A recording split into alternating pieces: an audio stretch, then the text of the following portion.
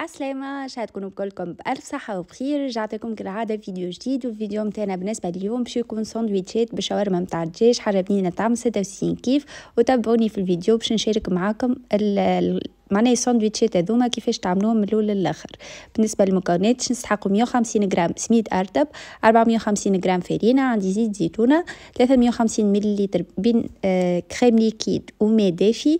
نستحقوا ملح خميرة نتاع خبز وخميره جاتو تو direct نتعداو مع بعضنا طريقة التحضير آه بالنسبة لل crème liquide راني استعملت 20 غرام crème liquide والبقيه ماء.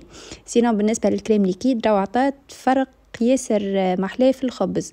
الخبز بالحق ياسر هشوش خفيف قطني بالحق يتاكل عشبع كما تشوفوا حطيت من الكمية نتاع الماء وال crème liquide حطيت عليهم مقدار نتاع نقولوا إحنا معناها أربع مغارف كبار زيت زيتونة. حطيت زاده الخميرة نتاع الخبز وتو باش نحط خميرة الجاتو بالنسبة للخميرة نتاع الجاتو مقدار خمسة غرامات ستة غرامات مش برشا. كما تشوفوا لنا الخميرة كي حطيتها مع مع الماء وال crème liquide والزيت معناها مع السوائل الكل كما تشوفوا فيها كلي كشكشت شوية. توا direct باش نحط الفرينة سميد وباش نخدمهم بالباهي بالعجانة وإلا تنجموا نتوما تخدموها بيديكم. على فكرة بالنسبة للطقس هذا سخون على الأخر يشجع معناها على على عملان الساندويتشات سورتو حاجات كيما هكا راهو في ما يخبروا. حاجة أخرى بالنسبة لل معناها الخبز هدايا آه كما تعرفوا معناها سميد مقطوعين وإلا الفرينة نجموا كيلو معناها نعرفش كان دبرتوا كيلو فرينة إلا كيلو سميد تعملوا بيه الحاجة دي وأنتم مش كل يوم معناها باش تقعدوا تعجنوا جوست واحد مرة هكا في الفيل وإلا نتاع شهوة تنجموا تعملوا ساندويتشات هذوما باش نقعد نخدم فيها بالباهي. على فكرة بالنسبة للعجينة نتاع ساندويتشات حتى مرة ما عملتها بالسميد المرة دي قلت خلينا نعملها بالسميد وبصراحة حسيتها فرقت برشا. كما تشوفوا العجينة في الآخر اللي نتحصلوا عليها تكون متماسكة وبالطبيعة قبل ما العجينة متاعي معناها ما تتماسك حطيت مغرفة صغيرة ملح وريتها لكم في الفيديو باش ما تنساوهاش. كما تشوفوا هذه العجينة اللي نتحصلوا عليها تكون سوبل على الآخر وفي الفيديو هذا تلمون طقس سخون على الأخر معناها العجينة نحستها سخونة هكا ما بين يديا.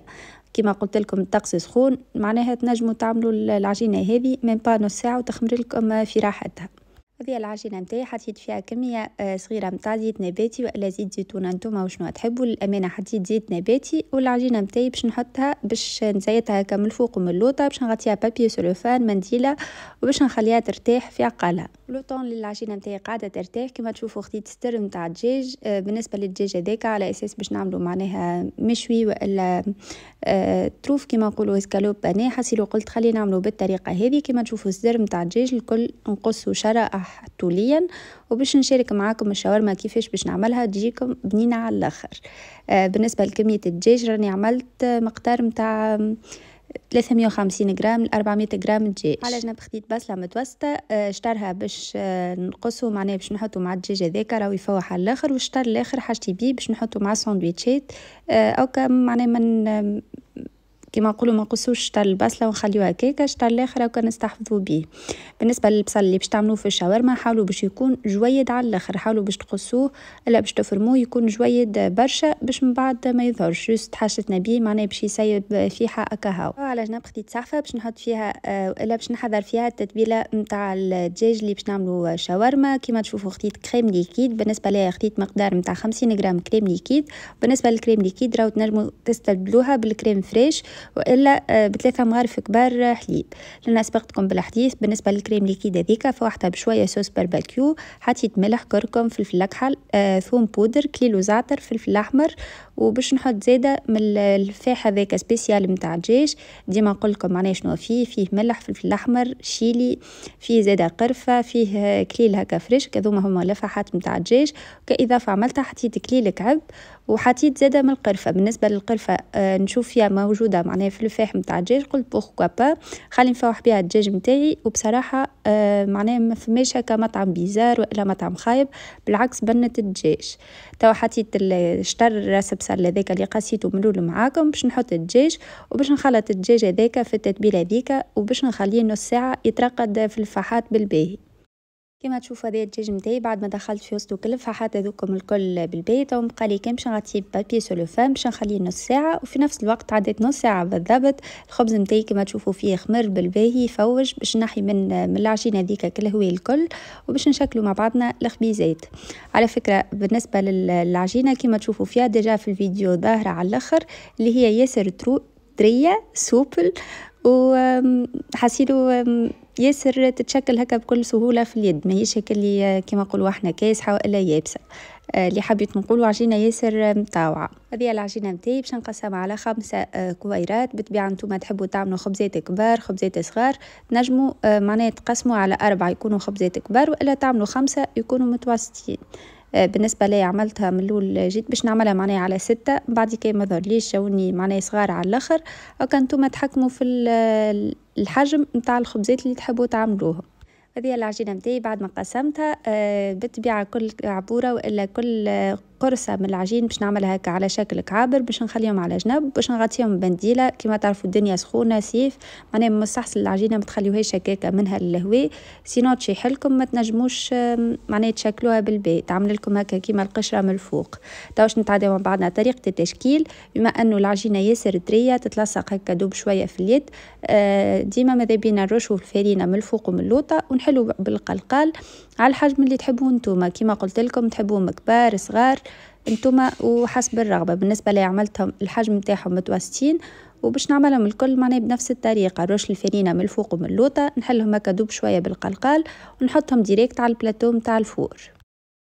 وبالطبيعة باش نكمل العملية مع الخبزات اللي عندي الكل. آه بالنسبة ليا 600 جرام ما بين سميد وفرينة طيحوا لي خمسة خبزات متوسطين. وبالنسبة للخبز هذايا مش تشكلوه directe وتمشيو تحطوه في ال four لا يلزمو يرتاح شوية أخرى باش يعطيكم هكا volume في الوسط.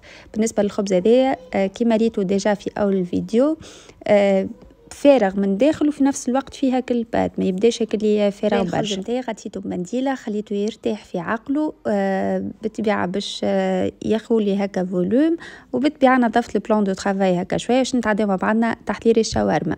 بالنسبة للشاورما نتاع الدجاج كيما تشوفوا خديت على جنب قلاية حطيت فيها كمية صغيرة نتاع زيت والدجاج هذاك ملول باش نخليه يطيب على نار متوسطة معناها حتى لوين كيما نقولوا إحنا كل كريم هذيك liquide معناها تتشرب اللفاحات اللي موجودين في الدجاج الكل من بعد تشوفوا الدجاج كيفاش باش يولي.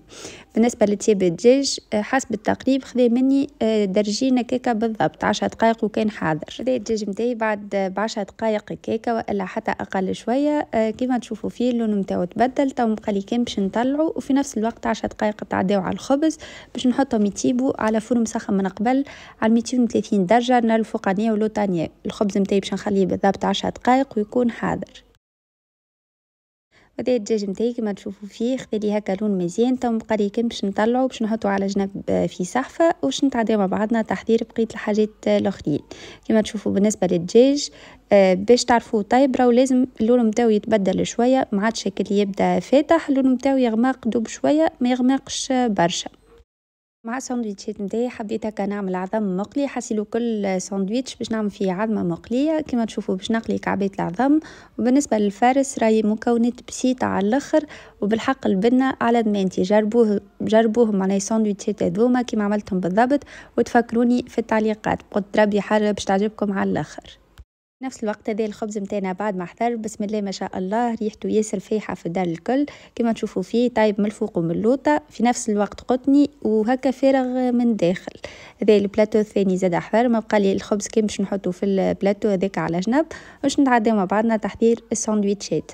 بالنسبة لل farce باش نقول لكم vite fait شنو عملت عملت هريسة وهريسة عربي. بالنسبة لي نحب لي ساندويتش معناه يكونوا محرحلين بالباهي هذاك علاش نزيد الهريسة العربي باش يجوني حارين على الآخر. وتو باش نوريكم الخبز كي قاعدة نقص فيه في اثنين هذايا بالطبيعة بعد ما برد شوية. كما تشوفوا فيه ياسر طري déjà التصويره واحدة déjà توضح لكم كل شيء. تو ساندويتش نتاعي باش نحط فيه؟ هريسه مايونيز نحط فيه؟ زاده سلاطه أه وإلا laitue.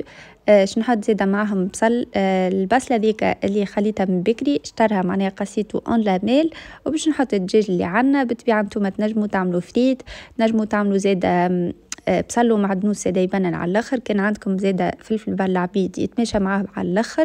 بالنسبة ليا عملت juste سلطة هريسة مايونيز والدجاج هذاك وبصل هكا مقصوص جويد. وبالطبيعة ما نساوش العظمة المقلية هي اللي فيها البنة الكل. لما حاله نسيتها أما حطيتهم معناها في الساندويتشات بنته على الآخر.